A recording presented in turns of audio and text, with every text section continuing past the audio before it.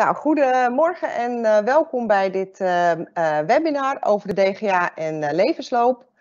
We hebben dit soort webinars al vaker gegeven. We noemen het ook bij Skill nog wel het koffiemomentje. Dus ik hoop dat u allemaal een lekkere kop koffie heeft gepakt.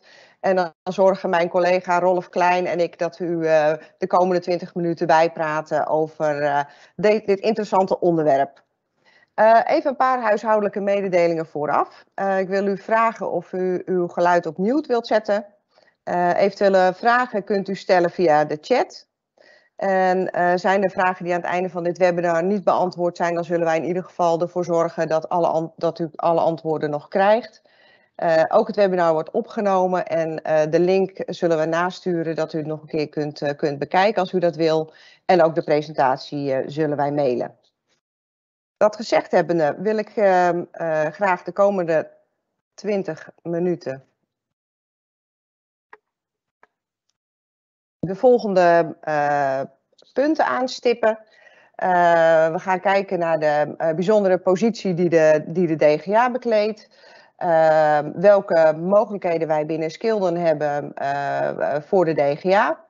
En dan uh, hot topic uh, op dit moment is natuurlijk de, het afschaffen van een levensloopregeling uh, eind van dit jaar. Wat een financieel voordeel op kan leveren voor de DGA. En hè, het advies wat u daarover kunt geven kan voor uzelf ook een financieel voordeel opleveren. We hebben een mooi stappenplan gemaakt waarlangs u het advies kunt geven. En ik heb ook nog een, een rekenvoorbeeldje om dit allemaal wat beeldender te maken. Maar eerst wat cijfers. Uh, in Nederland hebben we ongeveer uh, 200 DGA's. En in 2017 waren dat er ongeveer 140.000 met pensioen in eigen beheer. Destijds heeft 20% van die DGA's gekozen voor het omzetten uh, van pensioen in eigen beheer in een oude dagsvoorziening. En 20, of 30% heeft gekozen voor afkoop. Dat betekent eigenlijk dat 70.000 DGA's helemaal geen gebruik heeft gemaakt van de fiscale faciliteiten. En een saillant detail hierbij is dat ongeveer uh, eh, 30% van alle DGA's in Nederland helemaal geen, geen pensioen opbouwt, op geen enkele manier. En de 70% die dat eigenlijk wel doet, uh, doet dat vooral op basis van uh, fiscale gronden. En uit mijn eigen ervaring weet ik in de gesprekken die ik heb gevoerd met DGA's, dat veel DGA's niet eens weten dat, dat het pensioenopbouw in eigen beheer een schuld op de balans oplevert. En een ander ding waar de DGA's natuurlijk mee te maken hebben, is de dividendklem als gevolg van de waardering van het pensioen in eigen beheer. Verder is de DGA-markt volop in beweging. We zien dat veel aanbieders uh, zich terugtrekken uit deze markt.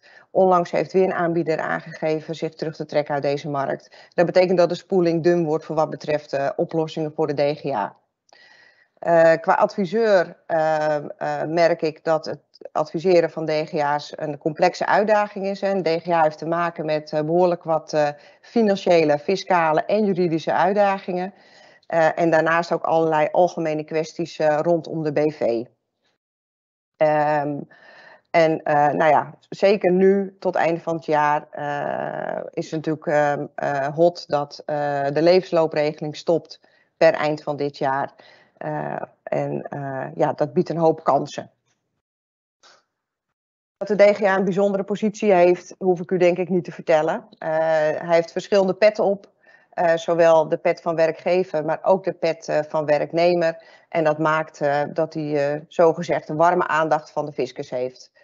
hij heeft namelijk meerdere keuzes te maken dan een gewone werknemer. En hij is ook zelf verantwoordelijk voor een aantal voorzieningen.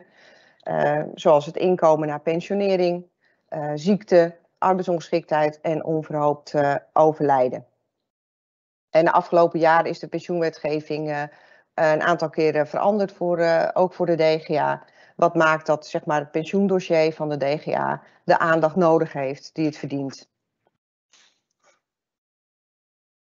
Schilden uh, heeft alles in huis voor de DGA en zijn voorzieningen. Uh, eigenlijk is het voor de DGA one-stop shopping. Je moet daarbij denken aan het afdekken van het uh, risico voor de nabestaanden, de compagnonsverzekering. we hebben ruime beleggingsmogelijkheden voor de DGA, zowel profielbeleggen, maar ook individueel en lifecycle beleggen. het uitvoeren van de pensioenregeling kunnen wij voor de DGA en dus ook het afstorten van het levenslooptegoed. En uh, Rolf wil ik graag even het woord geven om wat dieper in te gaan op de productkenmerken. Ilse, dankjewel voor de, de introductie. Ik moet zeggen, ik uh, zat nog even te kijken naar jouw sheet met, uh, met de cijfers. Uh, 30% van 200.000 DGA's die op dit moment niks doen aan pensioen. Dan zijn er dus 60.000 DGA's die potentieel op advies van de adviseur zitten te wachten. ik denk dat het een ontzettend mooie doelgroep is om inderdaad mee aan de gang te gaan. Um, zelf ben ik ontzettend enthousiast over de DGA. Waarom? Omdat je daar gewoon heel veel verschillende manieren aan advies kunt, uh, kunt geven. Ilse schetste dat al, de DGA kan op verschillende manieren voorzien in zijn, zijn oude dag. Um, hier even een kort staartje waarin ik wat zaken uh, overzichtelijk heb weergegeven. Ik neem niet alle sheets uitvoerig met u door. U krijgt ze volgende week samen met de terugkijklink toegezonden. Uh, maar het leuke van de DGA, je praat over de oude dag, uh, ziet u staan. Je praat over de nabestaande voorzieningen van de DGA. Maar je bent niet beperkt tot bijvoorbeeld alleen maar de pensioentoezegging. Je kunt met de DGA ook praten over lijfrente. Je kunt met de DGA een oplossing zoeken in box 3. Liquiditeiten binnen de BV. Ik hoor steeds vaker, heb ik in gesprek met adviseurs, uh, dat ook DGA's liquiditeiten binnen de BV negatieve rente betalen. Heb je niet een oplossing? Kunnen we daar niet wat mee?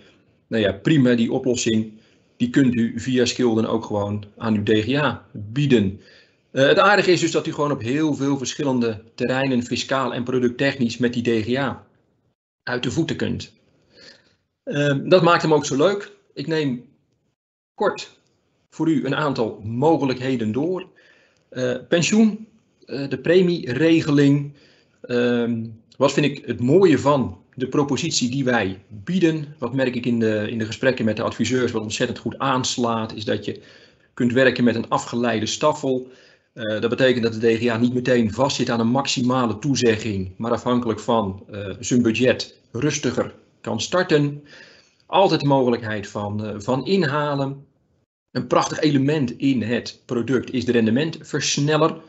Bij elke 22.500 euro waarde voegen wij een stukje waarde toe, half procent. Dat klinkt niet heel veel, maar de werking bij de DGA is dat het altijd gaat om hoge premies we zien vaak dat er gewerkt wordt met een aanvullende storting aan de voorkant. Soms wordt er gewoon een contract van elders overgedragen. Misschien is het, het inhalen van een stuk eh, levensloop, waar Ilse zo meteen bij stil gaat staan, een, een optie. Wat betekent dat je snel door waardes heen gaat en die rendementsversneller ook echt een versneller is. Dat is echt een heel mooi, uniek onderdeel daarvan. Kijk naar de, de fondskeuze die we, die we bieden. Uh, profielfondsen of lifecycle, wat meer traditioneel bij pensioen. Maar zeker DGA's, individuele invulling van fondsen. Denk dan bijvoorbeeld aan, aan indextrekkers, is ook heel goed mogelijk. Dus je kunt op verschillende manieren met die DGA praten over hoe die zijn oude dag ziet, hoe die dat ingevuld wil hebben. En ook het, de beleggingsportefeuille kun je daar op basis van je eigen uh, mogelijkheden, eigen gedachten, maar ook die van de DGA op, uh, op afstemmen. De Nova Top, premie betalend met bijvoorbeeld een inhaalkoopsom. Uh, betreft het gewoon de, de koopsom SEC. Bijvoorbeeld omdat het gaat om het afstorten van het levenslooptegoed. Of die zaken komen we ook de, uh, tegen. Bij pensioenverevening, bij echtscheiding. We hebben een prachtig koopsom depotplan waarbij de, de ruimte zelfs ja, opgerekt kan worden op basis van de markrente, de 2% markrentestaffel van, uh, van Skulden. Dus daar zit een hoop mogelijkheid, een hoop ruimte in voor uw DGA om die maximaal te benutten. Wordt het geen pensioen of misschien een basispensioen en willen we aanvullend iets doen in, in lijfrente, biedt natuurlijk wat meer flexibiliteit. Willen we misschien iets doen in box 3 of nou ja, starten we gewoon lekker met rendement binnen de vennootschap. Dan is er het skilden beleggen, schuine streep, het skilden profiel beleggen het onderscheid tussen de twee zegt het woord eigenlijk al een beetje. Uh, bij Skilden Beleggen heeft u een uitgebreide fondskeuze afhankelijk van uw eigen affiniteit met, met beleggen en uw advieskeuze. En de affiniteit van de klant met, met beleggen. Heeft u daar een keuze uit ruim 100 fondsen. Ik merk ook heel veel adviseurs die zeggen van nou, weet je, laten we het gewoon lekker bij een profiel houden. Ik ben de pensioenadviseur, ik ben niet de beleggingsadviseur. We pakken lekker een pensioen of een profielfonds wat bij de DGA past, wat bij de klant past. En we gaan op die manier gaan we het product in, inrichten. Um, flexibelere fiscaliteit dan, uh, dan pensioen. Uh, dat betekent ook dat het product gewoon flexibel is qua premiebetaling, stortingen, box 3 of binnen de vennootschap opnamemogelijkheden. Dus het is niet een product waarbij u op enig moment in de looptijd met die DGA zegt van ja, we zijn hier begonnen, we zitten eraan vast, we kunnen even niks anders. Nee, het product volgt gewoon uw klant en uw advies. Um, en hij kwam net ook even te sprake in uh, een van de sheets van, uh, van Ilse. De DGA werd 1-7-2017 geconfronteerd met het stoppen van opbouw in eigen beheer. In een aantal gevallen is dat omgezet naar een oude dagsverplichting, maar die oude dagsverplichting blijft natuurlijk een schuld binnen de BV. Hoe fijn is het dat je die op basis van bijvoorbeeld een skilden beleggen over kunt zetten in een lijfrentecontract, dus een schuld van in de BV gaat naar privévermogen bij de DGA. Eh, ik zie dat daar zeker veel, uh, veel belangstelling uh, voor is. Um, en misschien het minst, minst leuke onderwerp overlijden. wel een hele belangrijke. Ehm, dat kan in de sfeer van pensioen, dat kan in de sfeer van lijfrente, dat kan ook gewoon lekker, nee, ik noem het maar even box 3, vrijheid, blijheid. Dat kan in de vorm van een periodieke uitkering, een nabestaande vindt het soms ontzettend prettig om te weten wat er van maand tot maand binnenkomt. Heb je een stukje zekerheid gewoon op die uitkering, wetend wat er binnenkomt. En dan kun je ook je uitgaven op uh, budgetteren. Uh, ik zie ook dat er veel gekozen wordt voor kapitaaloplossingen. Dat betekent dat er op enig moment bij overlijden een kapitaal wordt uitgekeerd. En op dat moment ontstaat er ook een stukje flexibiliteit over de invulling daarvan. Een product daarvoor is de Lifestyle ORV en zeker in de doelgroep DGA wil ik even de optieclausule eruit halen. Uh, verhogen van het kapitaal tot 15% zonder medische waarborgen. Dat betekent dat een DGA uh, met een bepaald inkomen uh, een bepaald verzekerd kapitaal tegenover staat. Op het moment dat het inkomen stijgt, omdat het bedrijf gewoon ontzettend goed gaat, kun je zonder al te veel problemen dat kapitaal ook gaan verhogen. Dus dat maakt het in de advisering ook een heel mooi product in die zakelijke markt. Daarmee de productmogelijkheden benoemd hebbende, wil ik graag het woord teruggeven aan Ilse om met u door te praten over de mogelijkheden die levensloop biedt in uw adviespraktijk. Ja, dankjewel uh, Rolf. Uh, het is goed om, uh, om nog eens eventjes alle uh, productoplossingen die wij bieden te delen, denk ik. En dat brengt ons bij iets heel moois. En dat is eigenlijk het afschaffen van de levensloopregeling. En de mogelijkheden die dat biedt voor u als adviseur. En het financieel voordeel wat te behalen valt voor de DGA. Even in het kort, de levensloopregeling is ingevoerd onder de wet VPL in 2006. En daarmee konden werknemers een deel van hun bruto salaris sparen voor onbetaald verlof. Of om eerder te stoppen met werken. Helaas was daar niet zo heel veel belangstelling voor en is in 2011 besloten om deze weer af te schaffen. Ehm, met een overgangsrecht tot 31-12-2021.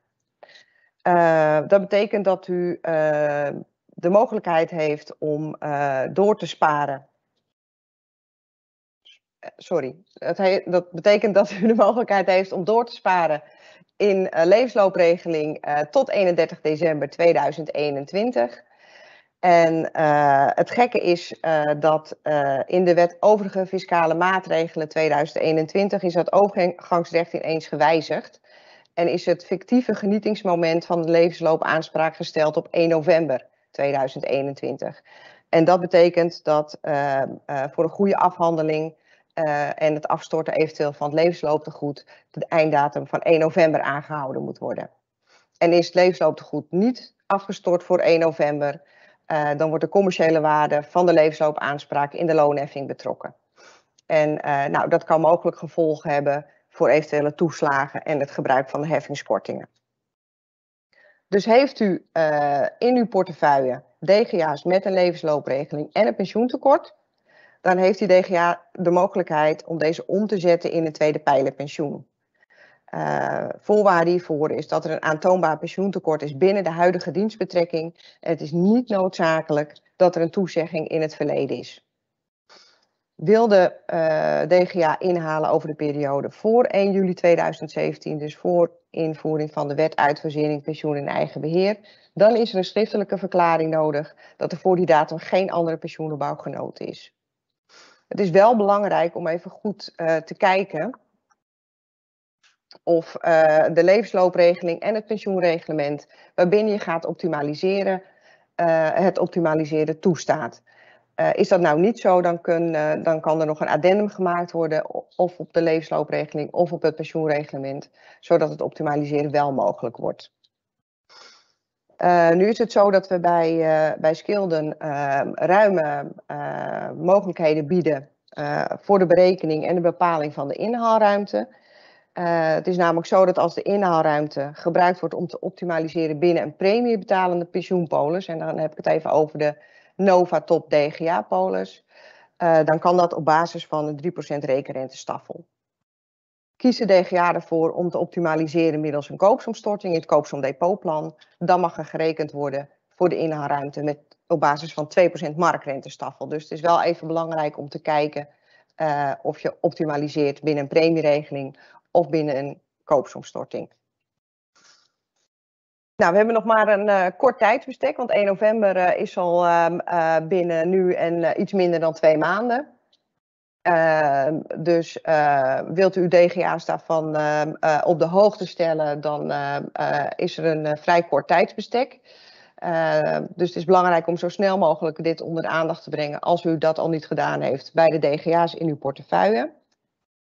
Uh, vervolgens een uh, check te doen uh, op de bepalingen hierover in de levensloopregeling en het pensioenreglement. Vervolgens een inhaaldiensttijdberekening maken. Hiervoor hebben we een, een voorbeeld ontwikkeld in Excel wat u daarmee kunt helpen. En nou, mocht u behoefte hebben om daar wat ondersteuning in te hebben, dan kunnen we die vanzelfsprekend met u delen. en daarvoor kunt u contact opnemen met uw accountmanager en dan helpen we u graag verder. Vervolgens kan er een offerte gemaakt worden in ons portaal voor een polis met fiscale pensioenclausule. Daar kunt u ook de pensioenovereenkomst downloaden.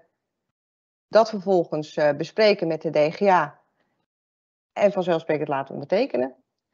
En vervolgens die stukken allemaal uh, mailen naar Skilden. En het is belangrijk dat het geld voor 1 november is overgemaakt. In de wettelijke regeling staat namelijk dat de instelling waar de levensloopaanspraak staat op 1 november, de waarde daarvan moet betrekken in de loonheffing. Dus het is heel belangrijk om alert te zijn uh, dat in ieder geval het etiketje levensloopaanspraak er vanaf is voor 1 november 2021. Nou, waar het allemaal om gaat is uh, uh, wat het ehm, allemaal voor ons kan opleveren. En ik heb daarvoor een uh, simpel uh, rekenvoorbeeld uh, voor u, waar ja, eventjes bepaalde oprettingspercentages niet in zijn meegenomen. Maar het gaat even om het, om het, om het voorbeeldje. Stel een DGA van 59 jaar met een salaris van 65.000 euro, die de ruimte wil inhalen vanaf 1 juli 2017. Nou, op basis van de berekening van de inhaalruimte is de koopsom bepaald op ruim 73.000 euro. En ziet u dat de besparing op de belastingheffing al snel 9.000 euro kan zijn voor de DGA. Nou, ik kan me niet voorstellen dat er een DGA is die daar uh, geen oren naar heeft. Uh, bovendien, uh, als ik dan even het fee voor uw DGA-advies stel op 1000 euro, dan is de directe besparing voor de DGA al snel zo'n 8000 euro. Waarbij ook uh, de fee voor het DGA-advies nog uh, in aftrek kan worden genomen van de vennootschapsbelasting. En er is hierbij geen rekening gehouden met het oprenten van de koopsom. Maar goed, ik zei al, het is een redelijk simpel voorbeeld. Concluderend uh, kunnen we stellen dat de DGA een groot financieel voordeel kan behalen. Uh, en dat geeft voor u als adviseur de kans om een goed advies te kunnen declareren bij de DGA. Echter, let op, het is maar een heel kort tijdsbestek tot 1 november waarin dit voordeel te verzilveren is. Dus actie is vereist, denk ik. Zijn er nog vragen? Ik ga even naar Remy. Remy, heb jij vragen binnengekregen? Ja, goedemorgen Ilse hier vanuit de, de regiekamer. Ehm, nou, er zijn niet heel veel vragen, maar ik zie ook dat we overigens wel uh, in de tijd zitten. Er zijn een aantal vragen gekomen. Ik pak er even eentje uit en alle vragen die, uh, die nog gesteld zijn of gesteld worden, die zullen we na afloop wel beantwoorden. Dus we zullen zorgen dat alle vragenstellers een antwoord krijgen. Maar ik heb even één korte vraag. En dat is een vraag over het berekenen van de, van de inhaalruimte. En de vraag is tegen welk percentage mag de oprenting in de inhaalberekening plaatsvinden? Zou jij daar een antwoord op kunnen geven, Ilse? Ja, zeker Remy. Leuk, dat is een, uh, een uh, goede vraag. Uh, en is ook actueel, geeft ook aan dat, dat adviseurs er blijkbaar al mee bezig zijn om die berekeningen te maken. Dat is goed nieuws. bij het oprenten van de inhaalberekening mag je dat doen tegen hetzelfde percentage als waar je de staffel van benut. Dus benut je een 3% rekenrentestaffel, dan mag je ook oprenten tegen 3%. En uh, benut je uh, tegen 2%, dan mag je de inhaalruimte uh, ook oprenten tegen 2%. Met andere woorden, als je een lagere staffel aanhoudt, mag je ook met een lager percentage oprenten. Oké, dankjewel. Nou, er, er, zijn nog een aantal andere vragen, maar gezien de tijd laten we die vragen eventjes, die heb ik genoteerd. En uh, de vragenstellers zullen daar gewoon een antwoord uh, op gaan krijgen. Dus uh, wat mij betreft kun je afsluiten, Ilse. Oké, okay, dankjewel Remy. Ehm, nou ja, wat ik al eerder zei, ehm, mocht u nog vragen hebben, uw accountmanager helpt u graag verder op weg. Ehm, schroom niet om te bellen, te mailen en ja, we helpen graag ook mee om dit financiële voordeel voor de, voor de DGA te behalen. Dus bij deze uh, wil ik afsluiten. Hartelijk bedankt voor uw aandacht. Graag tot de volgende keer. En uh, geniet van het weekend straks. Tot ziens.